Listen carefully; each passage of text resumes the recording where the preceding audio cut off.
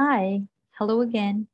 So today we're going to um, teach you on how you we're going to download and install Octave in MacBook. All right, so if you're ready, let's open our web browser. Preferably, I'm using Safari, so preferably just use Safari or any available web browser in your MacBook. You can also use Google Chrome. It doesn't matter. You can use Safari or Google Chrome for the web browser. And then after that, type in the UR, type the URL um, octave dash app dot org. Okay, and then press on enter. And then scroll down, look for the downloads, the downloads link, click on the downloads link, and you will be prompted to Octave that app at downloads. Look for the current release or version of, of Octave for Mac OS. For this instance, for this case, we have Octave 6.2.0. So this is the one that we're going to download. Just click on the link and automatically it will download. It will go to our download folder. So let's just wait.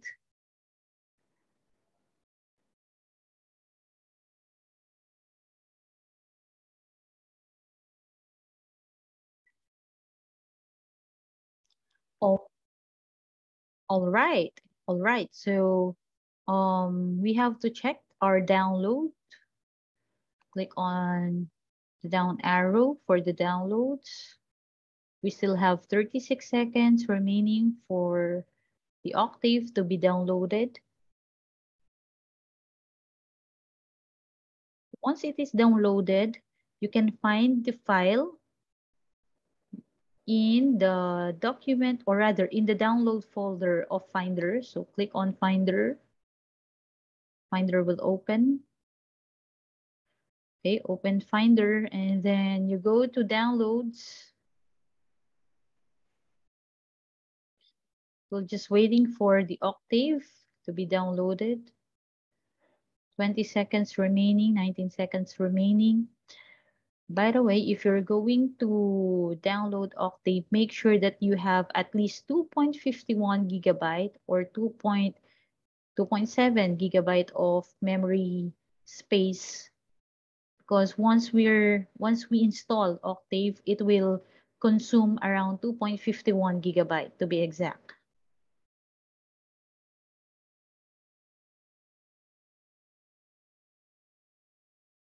Okay, we're done. Now, again, you go to Finder, you go to Downloads, look for the Octave package, click on that and click and again. So no, no, no, it's double click. Double click on the package. It will open. Just agree on the licensing, Octave licensing. By the way, Octave is a freeware, free software, meaning to say you do not have to pay anything, but you can donate. You can donate to GNU so that they could make more software like this. Okay, agree, click on agree. It will verify. Don't press skip, don't press anything. Just wait for it.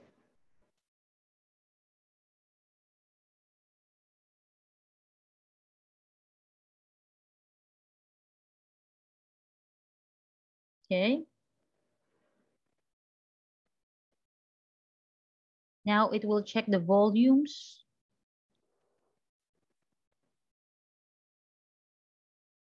All right, so after checking the volume, we now have to click and drag the Octave application to the application folder of our MacBook. So click and drag, click and drag Octave to applications,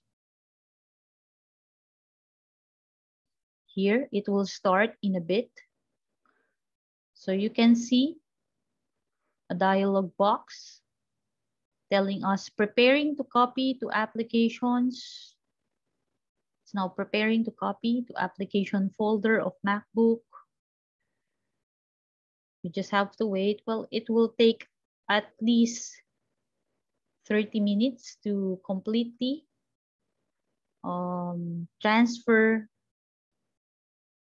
Octave software to the application folder of MacBook.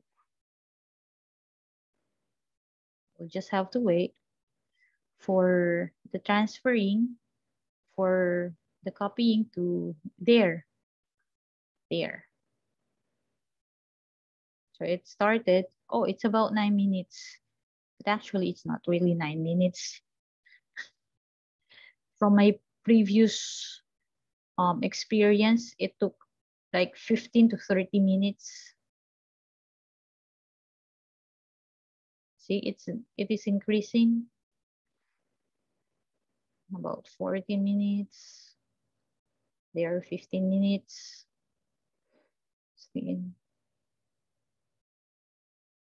Just a lot, a, just a lot, at least 30 minutes for it to be fully installed. Okay, just I'll just clear this one. Okay, I'll go back to, I'll just close this one. Okay, I'll just close the application. And close the Finder. And just wait for the Octave to be transferred, to be copied.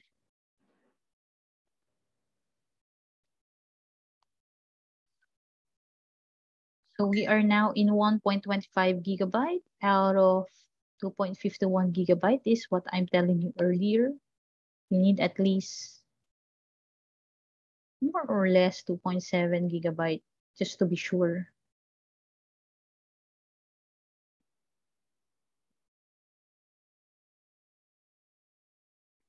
So we're about a minute in fully installing our Octave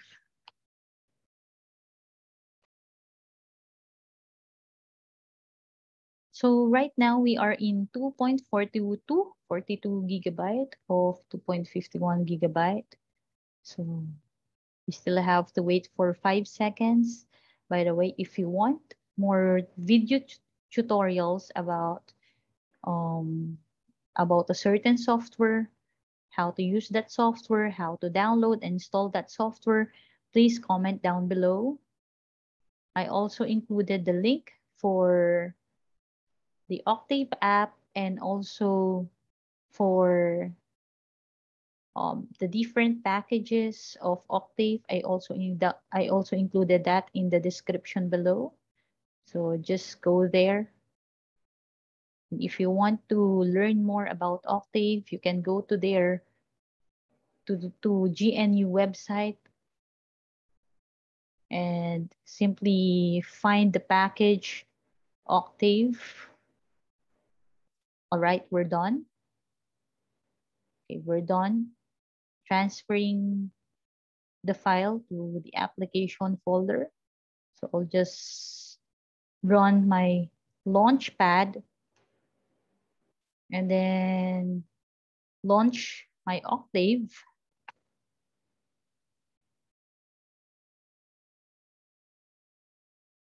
I'll just have to wait for it. Maybe I can close this one now. Okay. We'll just have to wait for it. By the way, if if for some cases there will be a pop-up um, message telling us that Octave is not recognized by our MacBook, it's the time that we need to go to System Preferences, then go to Security and Privacy,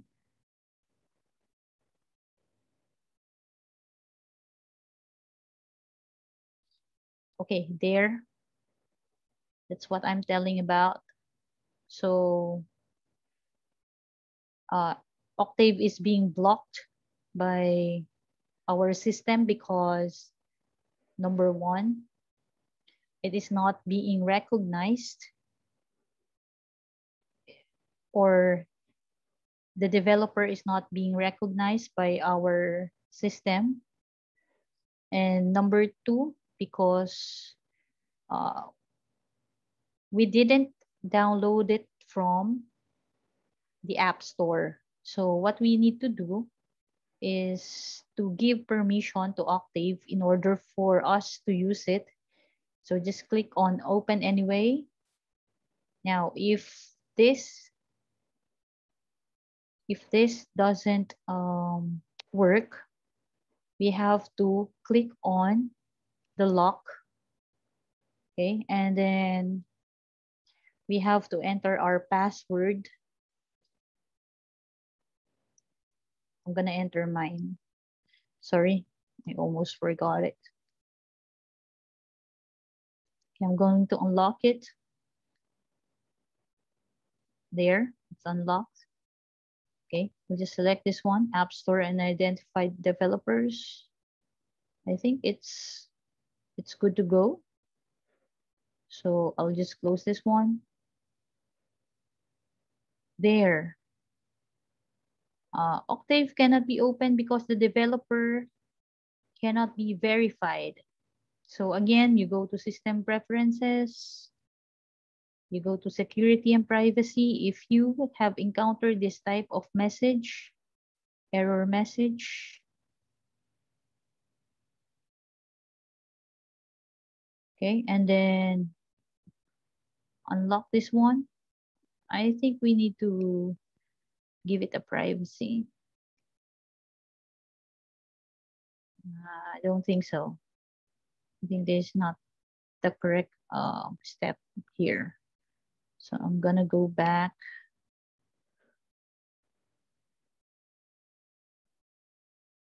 Uh, I'm gonna go back to general. Yep, I'm going to unlock it again. Unlock. Okay, and make sure that App Store and identified developers are being ticked or being checked. It's not checked, it's ticked. Anyways, just cancel this one. Here, okay, once you cancel it, uh, from the system, system preferences, there will be a message Octave was blocked from use because it is not from an identified developer, just click open anyway. Okay, and then you will have another message, Mac OS cannot verify the developer of Octave 6.2.0. Are you sure you want to open it? Yes, we want to open it. So click on open. It should work now. It should work now. There, it's working. So I can close now the system preferences window. Okay, so I have now the Octave GUI. There. There you go. So I can now start my, my computation. So let's say, for example, I want to compute for the sum of 2 and 3. So 2 plus 3. And then click on enter. So that will be on another video. Now, if I want to change the font size of, if you, I want to change the font size of my command window editor or my Octave in general, I'm going to go to, to um, the menu bar of Octave. So click on Octave dash GUI. Okay, I'm gonna click it again. Octave, come on. Here, Octave. Oh, come on. I think it is still loading.